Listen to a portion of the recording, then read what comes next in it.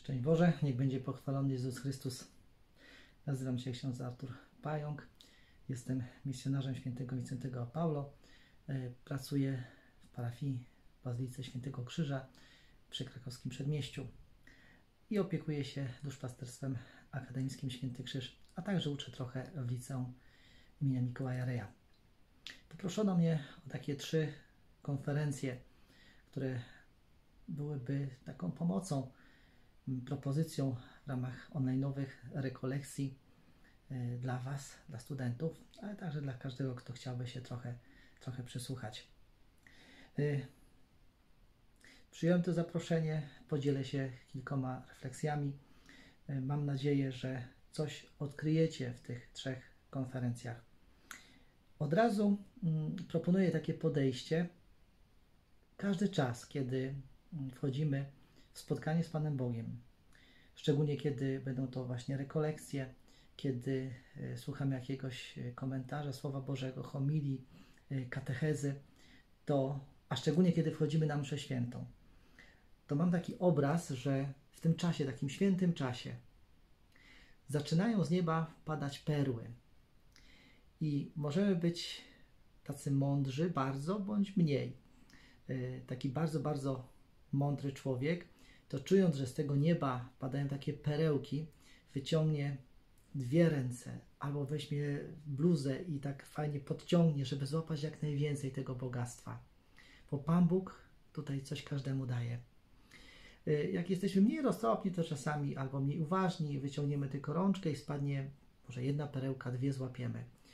Y, Postarajmy się mieć takie nastawienie, czy to nawet do nudnej homilii czy katechezy, że chcę złapać chociażby jedną perełkę, czy jakąś myśl, jakieś wezwanie, jakieś natchnienie, czyli mieć takie serce otwarte.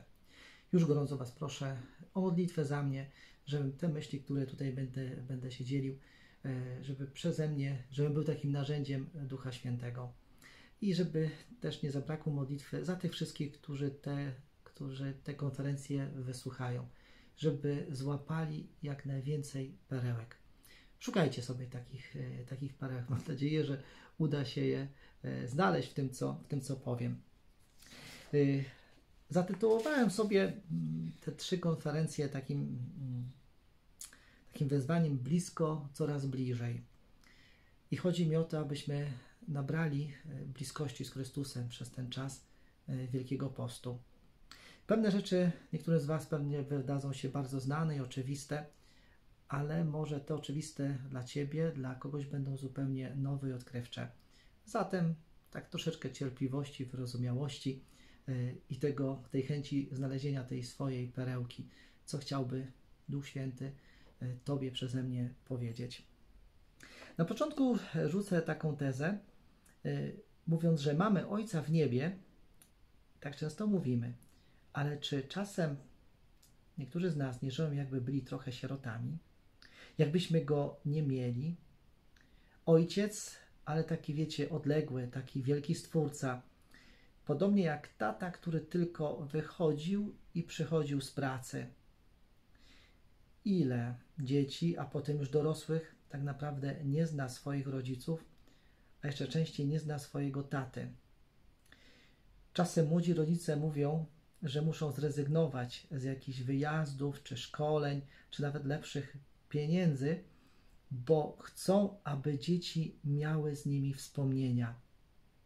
I tak, e, tak mnie to uderzyło, jak kiedyś młody właśnie tata powiedział, że rezygnuje z jakiejś tam pracy, z czegoś dodatkowego, bo chce, żeby moje dzieci miały wspomnienia ze mną, bo ja ze, swoją, ze swoim tatą takich, takich nie mam. Chciałbym, żebyśmy przez te rekolekcje troszeczkę głębiej odkryli e, obecność Boga w naszym życiu, może zweryfikowali Jego obraz doświadczenia.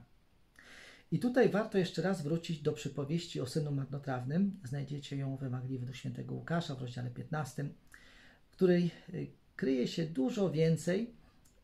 I ona jest bardzo bogato już skomentowana i, i pewnie przy wielu różnych rekolekcjach poruszana. A ja też do niej y, powrócę, y, ponieważ na te, na te dni Wielkiego Postu przede mną się na nowo jakoś odkrywa. A szczególnie w kontekście synów. I jest tam dwóch braci. I szczególnie taki jeden braciszek, co nie odszedł, to właśnie on przemówił do mnie i jego głos mm, przyda się właśnie w dzisiejszych e, rozważaniach. Syn marnotrawny jakby wyraża postawę biorę od taty i nie zważam na niego. Nie widzę jego miłości, a nawet nie szanuję. Odchodzę, bo chcę. Nie odchodzę z domu, by założyć rodzinę, nie odchodzę do pracy czy za jakąś misją, ale by się tak naprawdę zepsuć i poszaleć. No tak teraz do siebie i do wielu studentów, których nieraz obserwuję, można by zadać pytanie: po co przyjechałeś do Warszawy? Po co wyrwałeś się ze swojego domu rodzinnego? Czy na pierwsze lepsze studia, byleby się właśnie wyrwać z domu, czy też usamodzielniać, zacząć dorosłe życie? Czy marnotrawny syn stał się wolny? Czy ty, przyjeżdżając tutaj, stałeś się bardziej wolny, czy też y, zniewolony? Zniewolony, a przecież za chwilę także upodlony.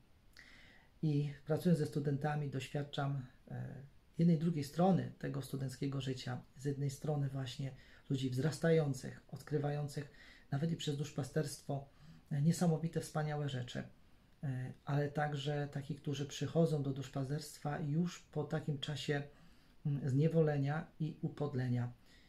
I dobrze, że przychodzą. I zapraszam do duszpasterstw akademickich wszystkich w Warszawie, gdzie Wam bliżej, żeby odkrywać, wzrastać i stawać się coraz bardziej wolnym. Brat nie chciał wejść na ucztę radości z powodu tego brata mm, marnotrawnego a była to też przecież uczta radości, radości ojca.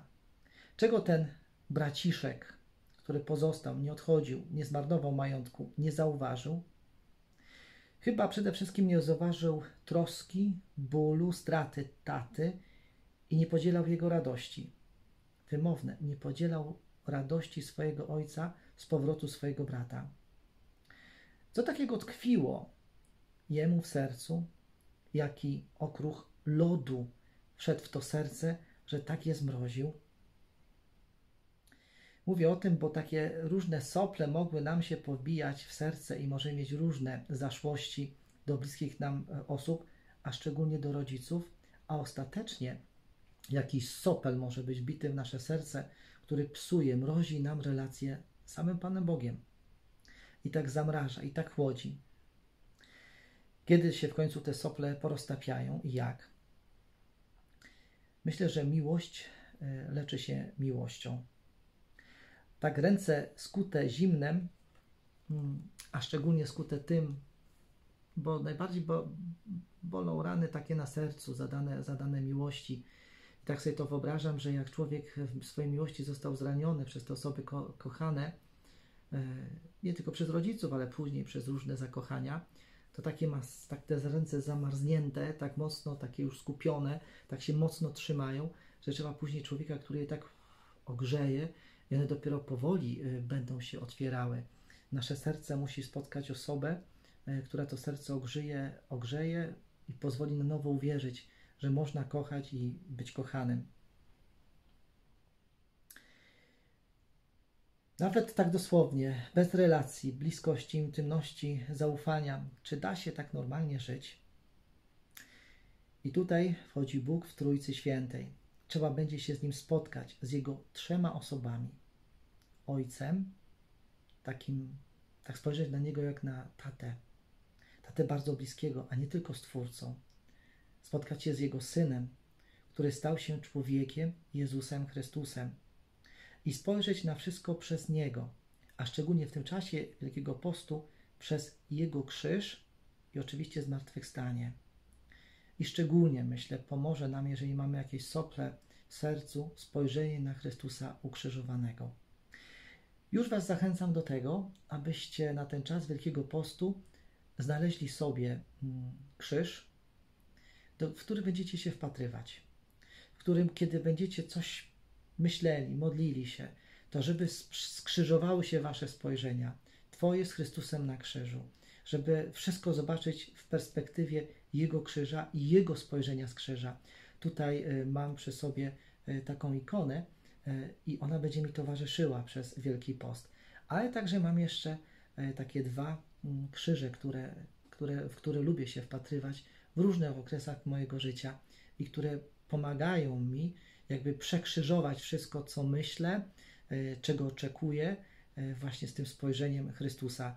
I powiem Wam, że kontemplacja właśnie męki pańskiej i krzyża Chrystusa może nam bardzo wiele pomóc zobaczyć zupełnie to wszystko, co mamy w swoim życiu, co, co doświadczyliśmy, zupełnie inaczej. Do tego tak, tak, tak zachęcam. Y, spotkajmy się także z Duchem Świętym, czyli miłością Ojca do Syna i Syna do Ojca. Już wzywajmy Jego obecności, Jego napełnienia, bo być napełnionym Duchem Świętym to być napełnionym miłością Boga. Tego gorąco Wam już, y, już życzę. Y, tak jak mówiłem, być napełnionym Duchem Świętym znaczy być napełnionym miłością Boga. Dlatego nie bójcie się pójść tam, gdzie można go doświadczyć. Od sakramentów, i tutaj szczególnie taką bramą będzie spowiedź i oczywiście komunia święta, ale także i po spotkania charyzmatyczne, ale także po spotkania na drodze krzyżowej, na gorzkich żalach, na adoracji w ciszy czy na adoracji uwielbienia E, oczywiście trzeba wyjść w spotkanie ze Słowem Bożym. E, ale jeżeli przyjdziecie tylko popatrzeć, poobserwować, mm, to nie dziwcie się, że efekty będą słabe. E, to tak jak obserwowanie mm, kogoś, komu się przyglądasz, to taki rodzi dystans, utrudnia spotkanie. Trzeba wejść w kontakt.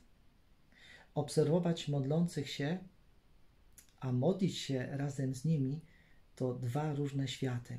I tutaj trzeba podjąć takie ryzyko doświadczenia. Ponieważ spotykam to, że osoby przychodzą do duszpasterstwa, przychodzą na różne nasze ćwiczenia, spotkania, ale są obserwatorami. I dlatego czasem e, często wychodzą wtedy nic nie doświadczywszy. E, niby przychodzą, ale na przykład z nikim dobrze nie zagadają, więc jak mają nawiązać relacje i to jeszcze relacje bliskie, przyjaźnie, jak nie wejdą w kontakt z drugim człowiekiem, podobnie z Panem Bogiem. E, jak tego doświadczyłem, ale Bóg potrafi zaskoczyć. Czasem nawet przy tej i obserwacji. Coś nas dotknie, poruszy i może wtedy się zacznie ta nasza droga odkrywania Pana Boga i wielkiej bliskości z Nim. Pewnie, że nieraz właśnie pierwsze, drugie spotkanie to może obserwacja, ale by właśnie się przełamać. Może coś tam się narodzi. Jeszcze raz zapraszam Was głęboko e, do duszpasterstw akademickich. Wróćmy. Brat nie chciał wejść. Ten brat syna marnotrawnego.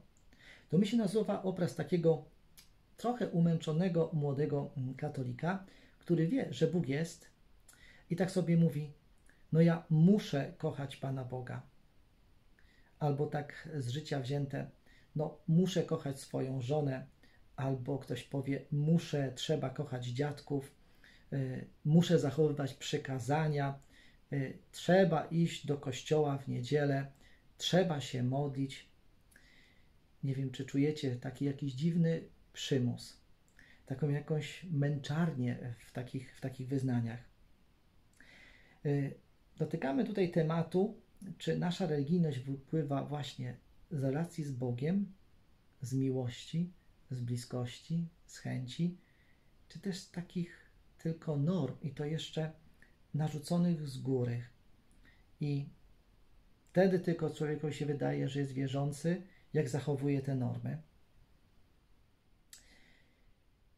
Muszę kochać Boga, bo pójdę do piekła, czy czuje się szantażowany przez Boga? Tak jakby ktoś zapytał swoje dziecko: Kochasz mnie? Albo bliżej wam, swoją dziewczynę czy swojego chłopaka, żonę: Kochasz mnie? A w odpowiedzi usłyszałby, usłyszała: No, muszę powiedzieć, że tak. E, to myślę, że byłoby to znaką że coś w tej relacji jest iluzją, błędem, że coś tam jest skłamliwego, że są jakieś rany, że są jakieś żale, jakieś gniewy, czegoś zabrakło, jest jakieś niezrozumienie, brakuje na pewno szczerości i czego tam jeszcze. Tutaj tak zrobię małą dygresję, ponieważ mm, wielu z nas ma teraz y, problem z podejściem do kościoła. Y, prowadząc kursy przedślubne, ale także katechezy czy spotkania, zawsze tak próbuję w takim obrazie mm, pokazać to nastawienie do kościoła. Wyobraźmy sobie mm, wielkiego słonia. I gdybym tego słonia Wam pokazał od przodu, to ma przepiękną trąbę, szlachetne kły, piękne wielkie oczy, uszy i tak dalej. Można powiedzieć, że przepiękne zwierzę, majestatyczne i niesamowite. To jest dla mnie jakby taka część kościoła, która mnie zachwyciła, kiedy odkrywałem kościół wchodząc do seminarium, a przychodziłem z takiej e, średnio, e, powiedzmy, religijnej rodziny. Tam za dużo, aż tak wiele się nie działo, wiele nie rozumiałem, nie wiedziałem i dopiero mi kościół zaskoczył. E, biblioteka e, seminaryjna, e, ale wiecie, też jak się dowiedziałem o wielu misjach, jak pierwszy raz zobaczyłem do Matki Teresy z Kalkuty, jak spotkałem wielu, wiele osób wierzących, które pomagały niepełnosprawnym, jak zaczynałem się rozczytywać w literaturze, poznałem bogactwo mszy świętej, sakramentów, spotkałem tak wielu mądrych ludzi, tak wiele niesamowitych dzieł, książek, cała historia Kościoła, E, cała, cała duchowość Kościoła. Tego jest tak dużo, tak wiele. Czasami proponuję, zajdźcie do księgarni katolickiej, zobaczcie, jakie są książki, jakie są tematy, co by Was za, zainteresowało. Tej duchowości jest tak strasznie dużo. Jeszcze Kościół katolicki jest bardzo bogaty e, w religijność. Mamy i adorację, e, mamy przecież oczywiście sakramenty, ale mamy także i muzykę kościelną taką, taką, starszą, młodszą. Tego jest tak wiele. Mamy litanie, mamy różaniec. Naprawdę jest bardzo dużo form religijności. Możemy z tego wybierać, dobierać, łączyć sobie to. Ale także wielu świętych, te historie świętych są niesamowite. Naprawdę ta, od tej strony takiej mm, tego piękna, tej mądrości i duchowości, tak i charytatywności, dzieł miłosierdzia, tak wiele można znaleźć. Jest ten obraz kościoła, to powiedzmy ta twarz tego słonia, zachwycająca, niesamowita. Ja się nią zauroczyłem i cały czas ją widzę, e, cały czas jej też doświadczam. Ale gdyby teraz tego słonia tak bokiem do nas ustawić, to byśmy zobaczyli taką wielką, szarą masę. Czyli to mi się kojarzy z takimi byle jakimi i księżmi, homiliami, kazaniami, e, ale także z wierzącymi w kościele, którzy się rozglądają, nie wiedzą o co chodzi, e, jak w niedzielę, na, na niedzielę palmową e, przyjdą na przykład ze, ze świecą, coś sobie tam pomylili, e, są zdziwieni księdzem, który zbiera na tacę, nawet nie wiedzą jakim, pod jakim wezwaniem jest ich kościół albo do jakiej parafii należą. Taka byle jakość i oczywiście z naszej strony księżowskiej, ale także tych, tych wierzących. To nie zachęca, to jest takie mdłe, takie, takie szare. I z tym się też oczywiście spotykamy. E, co więcej, w swoim życiu też mamy takie etapy, słuchajcie, piękne i takie właśnie szare, byle jakie. Gdzieś ta wiara mm, nikogo nie zachęca, e, jest taka słaba nawet względem nas samych. I gdybym jeszcze tego słonia, słuchajcie, mm, obrócił tak tyłem, to tak brzydko mówić, od tyłka strony, to chyba nikogo to nic nie, nie zachwyci. To oczywiście cała ta część różnych skandali, e, wszystkich błędów, potknięć, tego wszystkiego, tak się zastanawiam, z jakiej strony my się przyglądamy temu kościołowi, e, z jakiej strony byśmy chcieli e, do niego wejść, to z tej tyny jest absolutnie nie wiadomo co, nie ma co o tym mówić, e, jest tragedia, ale chyba najważniejsze pytanie trzeba sobie zadać, jaką stroną ja tego kościoła jestem. Czy jestem tą, która zachwyca, która, która angażuje, która, która przyciąga, czy też jestem taką szarą, czy też taką skandaliczną, jaką częścią e, Kościoła jestem na dzisiaj, no i co zrobić, abym był tą, tą piękną częścią, tą, że ktoś jak mnie spotyka, e, to spotyka ucznia, ucznia Chrystusa e, i po rozmowie ze mną, po spotkaniu ze mną, chciałby przyjść do tej wspólnoty, chciałby ze mną pójść na mszę świętą, chciałby ze mną poadorować, chciałby się dowiedzieć, dowiedzieć więcej, być, być takim człowiekiem, mm, który właśnie tak zachwyca, ale to ta taka malutka dygresja o Kościele, e, żebyśmy odnieśli najpierw, najpierw e, do siebie i zobaczyli też, jaką tą część Kościoła chcemy poznawać, jaką chcemy być, e, do jakiej, z jakiej strony mu się przyglądamy. A jest naprawdę ta piękna część Kościoła i jest bardzo bogata i zachęcam, żebyście właśnie od tej strony zaczęli się przyglądać Kościołowi i tak, taką też część Kościoła tworzyli. Wróćmy do tych braciszków. Widać troszkę, że ten brat nie ma takiej relacji, statusie, jakiej tato pragnie. Zresztą jeden, jeden i drugi. I marnotrawny, jego braciszek, to tak trochę my. Oni dwaj są w nas. I może trochę poszukajmy, jakiego brata więcej. Czy tego marnotrawnego, czyli odchodzi i marnuje cały majątek taty, czy też tego takiego pełnego żalu, gniewu, który jest, nie odszedł, ale jednak nie żyje w bliskości. A wiecie, że w tej przypowieści jest jeszcze jeden syn? On tak naprawdę siedzi i opowiada tę przypowieść. To Chrystus. Syn Ojca, ten wierny. Jakby kryje się w tej przypowieści. Boże marzenie to mieć z nami taką relację, jaką Jezus ma z Ojcem. Jaka to relacja? Przecież cały Nowy Testament o tym mówi. Co mi mówi o relacji z Bogiem Jezus Chrystus? Spróbujcie tak prześledzić Ewangelię. Co Jezus Chrystus mówi o relacji z Ojcem? To jest marzenie, żebyśmy, Boże marzenie, żebyśmy tak myśleli o Ojcu w niebie, jak Jezus Chrystus, żebyśmy tak cieszyli się tą bliskością e, tej relacji, jak, jak On. Jak reaguje braciszek na wyjście e, taty z uczty e, i jego zaproszenia do tego, tego brata, który pozostał? Zobaczcie, że on mu wypomina. Pierwsza sprawa, wypominanie. Co się ukryło w jego sercu? Co się ukryło w Twoim sercu? Czy jest jakieś wypominanie Bogu w Twoim życiu? Zajmijmy się pierwszą rzeczą. Żal. Bratu, tyle dałeś, a mnie? porównuje się ten braciszek.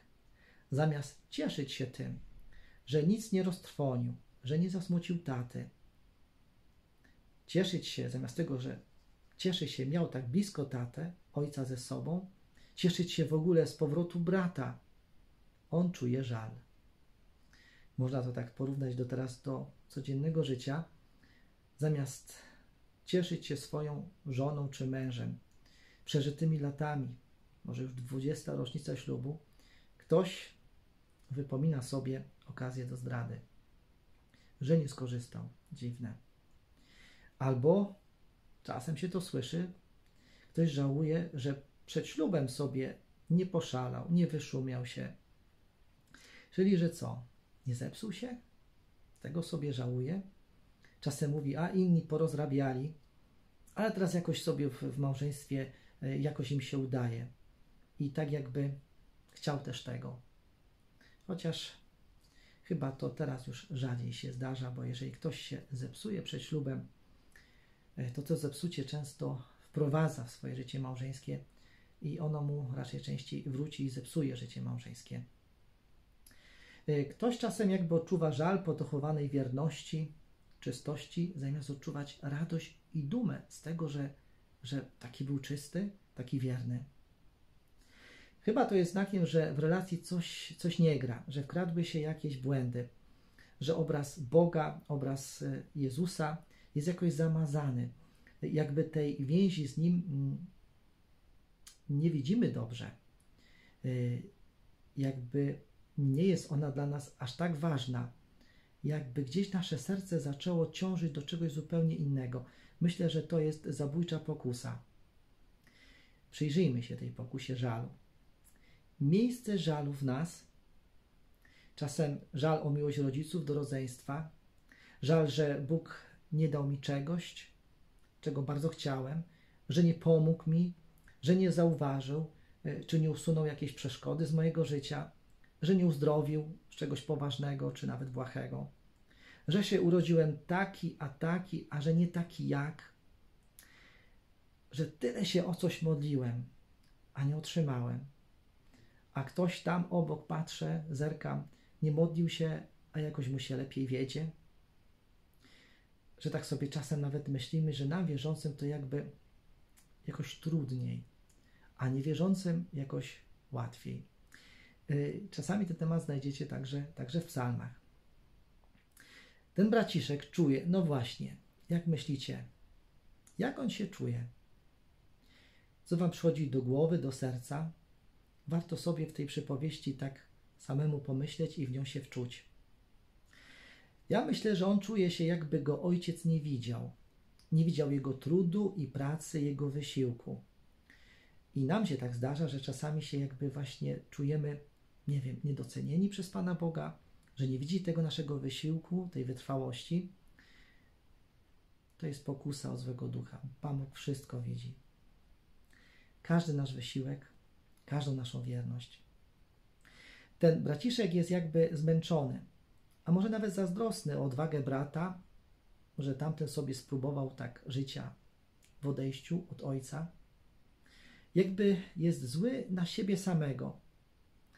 Tak by można powiedzieć, to ja się tu staram, męczę dla tego swojego ojca, a on temu łajdakowi ucztę wyprawia?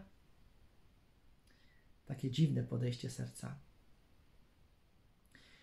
Ale pytanie dla nas. Czy mam wrażenie, odczucie, że męczę się dla Boga? Że męczę się dla kogoś? A może nawet samym sobą?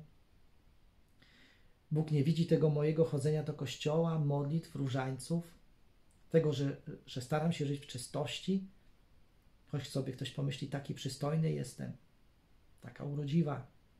I mógłbym pokorzystać, ale nie, bo przecież, no właśnie, przecież mamy sumienie, wstrzymuję się, trzymam się tego, ktoś by powiedział, mojego starego męża, choć taka oferma, albo trzymam się tej mojej żony, choć taka czasami wredna, pomagam tej osobie, ale w życiu słowa dziękuję nie usłyszałem.